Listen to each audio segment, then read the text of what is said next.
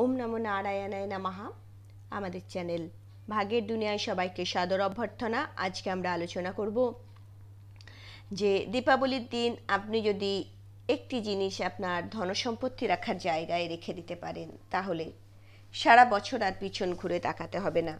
ধন সম্পদে আপনি টৈটম্পুর হয়ে থাকবেন। খুশির জোয়ারে ভাসতে থাকবেন ধন সম্পত্তির জোয়ারে আপনি ভাসতে থাকবেন, সেখানে ভাটা কোনোদিনও আসবে না। চলুন আমরা সেই সম্পর্কে আলোচনা করছি। আলোচনার শুরুতেই আমরা বলব, দীপাবলির রাত মানে আনন্দের রাত। দীপাবলির রাত মানে জয়ের রাত, দীপাবলির রাত মানে সুখের রাত, দীপাবলির রাত মানে সত্যের রাত। তাই এই দীপাবলির রাত মানেই হচ্ছে দারিদ্রতা, হীনতার রাত। তাই আপনি এই দীপাবলির রাতে আপনার সৌভাগ্য বর্ধন করার রাতে অবশ্যই যদি এই পদ্ধতিটি করতে পারেন, দৈবিক কৃপাযুক্ত পদ্ধতিটা যদি আপনি নিজের জীবনের জন্য আপনি অ্যাপ্লাই করতে পারেন, আপনি ধনধান্যে পরিপূর্ণ হয়ে উঠবেন। কি করতে হবে?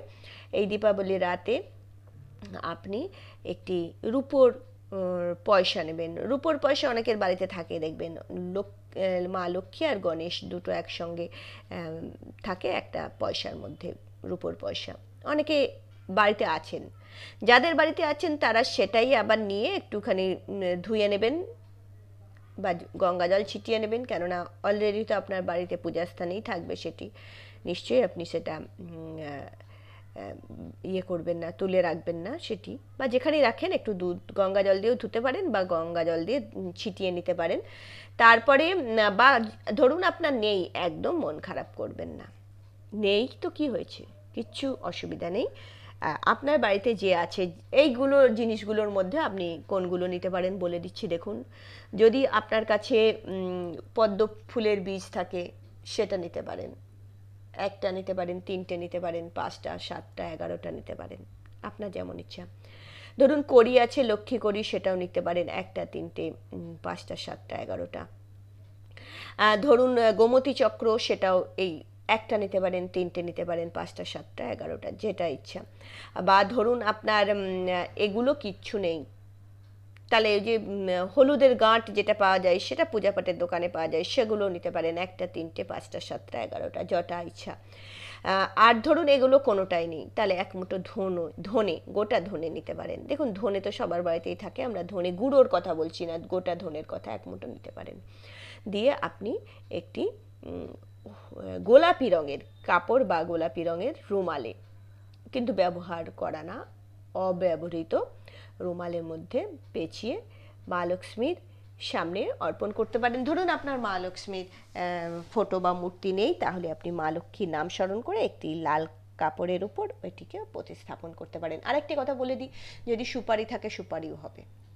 সুপারিটা অ্যাভেলেবেল ম্যাক্সিমামের বাড়ি পেতেই পারেন। তাহলে একটি, তিনটে, পাঁচটা, সাতটা, এগারোটা সুপারি নিতে পারেন। দিয়ে এই গোলাপি রঙের কাপড়ে বা কাপড়টা সিল্কের যদি হয় খুব বেটার হবে, আর যদি না হয় সুতিরই নেবেন। দিয়ে আপনাকে এই মন্ত্রটি জপ করতে হবে পাঁচবার।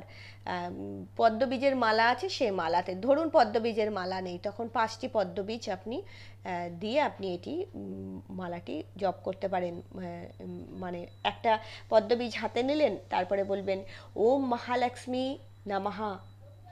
ওম মহালক্ষ্মী নমঃ।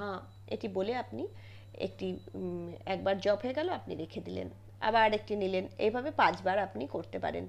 আর ধরুন আপনার মনে হচ্ছে যে, না, পাঁচবার করব না। মা লক্ষ্মীকে ডাকবো, আমি একটু বেশি করে ডাকি। তখন একশো আটবার দেখুন, একশো আটের নাম্বারের মাহাত্ম্য কিন্তু আলাদা। একশো আটবারের মধ্যে সমস্ত গ্রহ নক্ষত্র সমাহিত হয়ে আছে।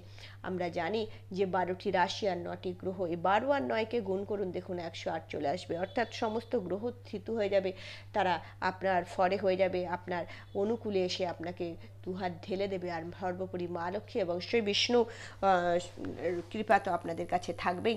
তাই অবশ্যই একশো আটবার মিনিমাম যদি পারেন করবেন, না হলে যারা পারবেন না, তারা পাঁচবারই করবেন।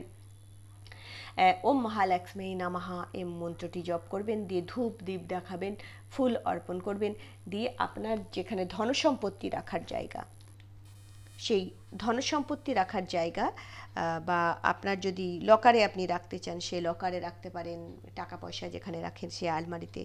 অর্থাৎ যেখানে যেখানে আপনি এই ধনসম্পত্তি রাখেন, মূল্যবান জিনিসপত্র সোনা গয়না রাখেন, সেখানে আপনি রেখে দেবেন।